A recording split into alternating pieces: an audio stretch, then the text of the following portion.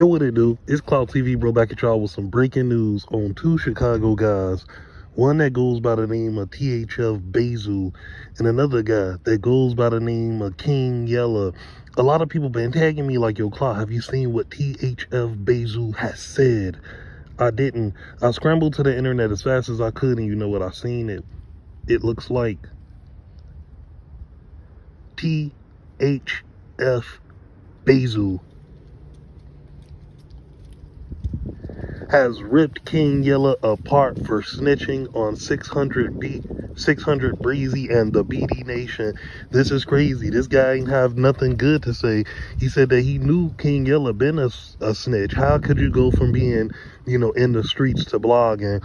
He's saying that these lame, blank, gangster bloggers, whatever, you know, is really bees. You know, he's saying that King Yella is not about that life. Uh, he's getting paid to snitch on people. He's calling people out without even being there. He's just hearing word of mouth and he's still snitching. He's helping the police. He's a full informant. You know, THF Bayzoo has spoke out. He's not having this. You got to think about it. Once you mess with his BD empire, he always has something to say about it. But uh, yeah, he just ripped King Yella apart. A lot of celebrity superstars is ripping King Yella apart for snitching on, you know, the BD Nation. Donate to Clout TV Super Thanks to video. You'll have four different options to fit your budget. Really appreciate each and every last one of you guys.